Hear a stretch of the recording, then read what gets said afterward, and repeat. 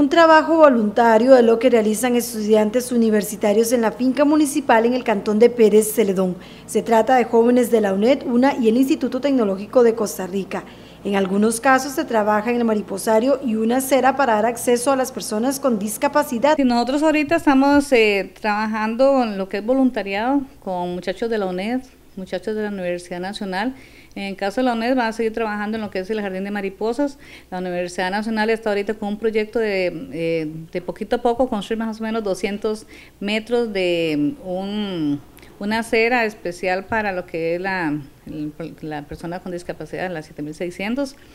Y digamos, el tecnológico está ahorita haciendo un estudio de, de graduación de la licenciatura en lo que es diseño de instalaciones para a futuro ver si es posible construir ahí este, en ese centro de capacitación y refugio animal, o sea, ya contar con ese recurso que es el diseño de todas las instalaciones. También se trabaja un estudio sobre las instalaciones para un refugio animal. El estudio sí, ya lo tenemos muy bien avanzado.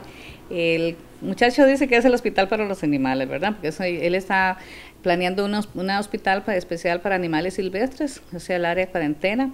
Luego están este, el área de nosotros de capacitación, eh, eh, área administrativa, área de exposiciones, o sea, son, este, muy bonito el trabajo que está haciendo el muchacho realmente.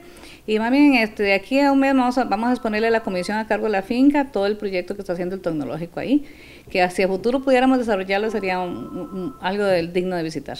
En la Oficina Ambiente esperan pronto que esos proyectos sean concluidos. El tecnológico, todo lo que es el refugio de animales, la parte de cómo eh, ellos están planeando que van a hacer la parte donde se va a dar la cuarentena, la parte de, de hospitalización de animales, llega un animal muy enfermo, este, eh, donde ya toda el área esa para poderlo liberar o dejarlo permanentemente el jardín de mariposas y la parte administrativa, la parte de exposiciones, área de cocina, área de soda, área administrativa, sea, toda la parte del frente, contaminada con la parte parqueo. Con este apoyo, los estudiantes esperan avanzar en una serie de obras.